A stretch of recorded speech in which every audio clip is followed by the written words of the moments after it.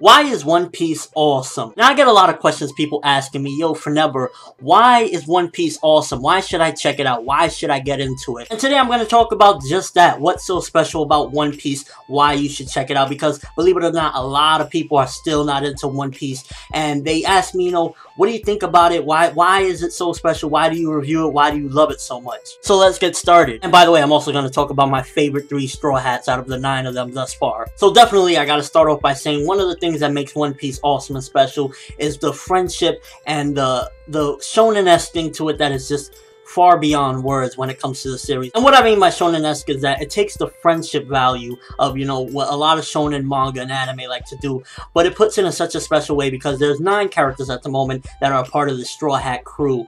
And the thing about it is, first of all, all of them have their own personalities. A lot of them have their own agendas, you know, what they want to do, uh, whether it be that Zoro wants to be the number one swordsman, whether it be that Usopp just wants to be a big and well-known pirate and, you know, just a leader, whether it be any of their goals, but at the end of the day, when it comes down to it, they all care about each other's goals and they all care about helping each other out. And there's just something really special. The way Oda wrote this series, Eiichiro Oda is the uh, writer of this particular series, and he just wrote it so that all the characters just have something very incredible about them. And I don't mean Nami and Robin's big tits. Being serious, like all the characters really just have something lovable and likable about them. Whether it be Luffy's gullibleness, but at the same time adventuring spirit, whether it be Nami's playfulness, getting ready to rob you, but at the same time she's gonna have your back, whether it be Chopper's jokes, whether it be any of the crew, there's something really likable and lovable about them that you can really just sit back and enjoy and, you know, whether times get real serious, and they can, Sabaody Archipelago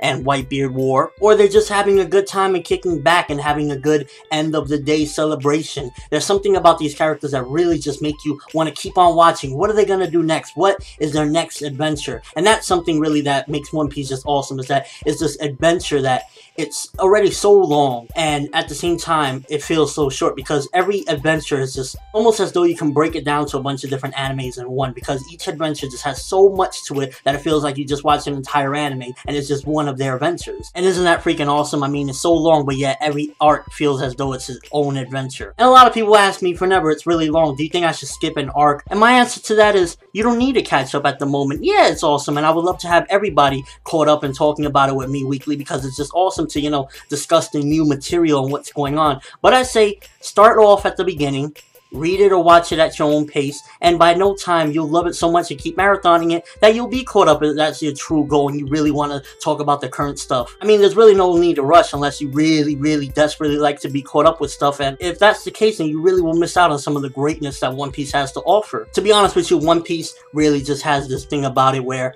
you will care about the main character so much, and at the same time, you will want to see them laugh. You want to see them when they're down and see them triumph and see them you know, just overcome the odds. And that's something about One Piece that is really special. Each and every character a part of those Straw Hat Pirates is just, you know, special characters and they really just have more to them than meets the eye. So why is One Piece awesome? Because the main characters are just phenomenal, as well as the villains. You got villains that'll make you want to hurt them. There's villains that'll make you laugh. There's villains that'll make you cry. There's something about this series that each and every character feels developed beyond belief. There's mysteries to the series that keep you going. A lot of mysteries. There's some series that, you know, have a few mysteries here and there, but there's so much to the One Piece story that really keeps you going It just keeps you like, I want to know what what does this mean? What was Oda foreshadowing in the beginning? What it stands for? The the spirit to keep on going and you know help your friends out and find new friends and just go on adventures. In a short, One Piece is just awesome. Now let's talk about my favorite three Straw Hats of all time. Now there's nine Straw Hats currently. There be more in the future, but as of right now, I want to talk about my favorite three Straw Hats out of the nine of them. Starting off with number three is definitely Chopper because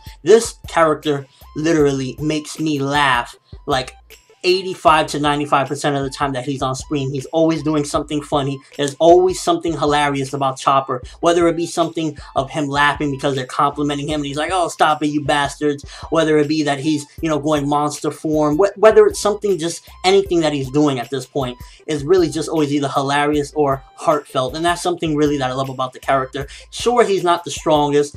Um, you know, he can't go up against some of the Haki users. He can't do some of these incredible things that like Zoro and Sanji and Luffy can do, but he still just has so much spunk to him, and he's he's just really a, a cool little character, and I definitely love him, and he's uh, number three on my favorites. Number two was actually a hard one because I always go back and forth between one and two, who are my two uh, favorite Straw Hats, and believe it or not, it's probably uh, not somebody that you would expect. My second favorite Straw Hat of all time is definitely Robin. To me, her pass is probably one of the most saddest passes I've seen in a while, especially in anime and manga. It, it was just so heartfelt to see when, you know, she got away. And I don't want to put too many spoilers in here, but to see when she got away and she kept doing that laugh, it is, she, she, she. It really just brought tears to my eyes to see this little girl and everything that she went through. And, you know, she's really uh, conservative, really relaxed. You know, out of all the Straw Hats, I believe she's one of the oldest, except maybe like Brook, but, you know, no skull jokes here.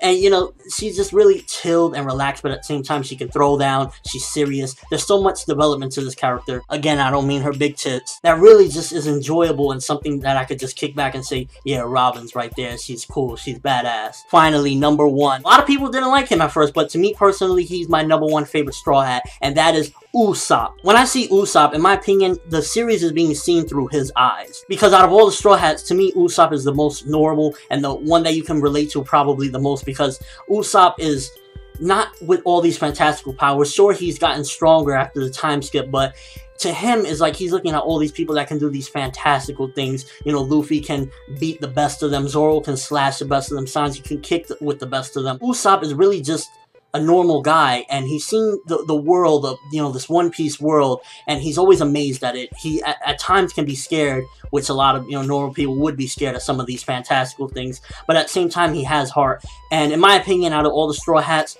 from the beginning up to where we at right now currently in the manga punk hazard i feel as though he's developed the most because his character he starts off really just like scared of a lot of things and then now his bravery has slowly started to show and you know he's just developed a lot and i really love uh, Usopp to see him triumph. I hope he accomplishes his goal and his dream. He's just a kick-ass character, and I love to laugh and cry, and you know everything that's happened with that character up till now has just been awesome. What do you guys think? Let me know. First of all, why is One Piece awesome to you? What makes One Piece so awesome that keeps you going? You know, 600 plus chapters, 500 plus episodes. What makes One Piece awesome? And who are your three favorite Straw Hats of all time? But that's all I have for this video. Thanks for watching. Hope you enjoyed. Thumbs up for One Piece being awesome because you know it never gets, in my opinion, enough praise because a lot of people, they, they say One Piece is awesome, but, you know, it already has its popularity. It don't need me to say it. And no, I think that if I love something as much as I love One Piece, hence the back, then I'm going to praise it. I'm Fornever World, and as always, people, have an awesome day.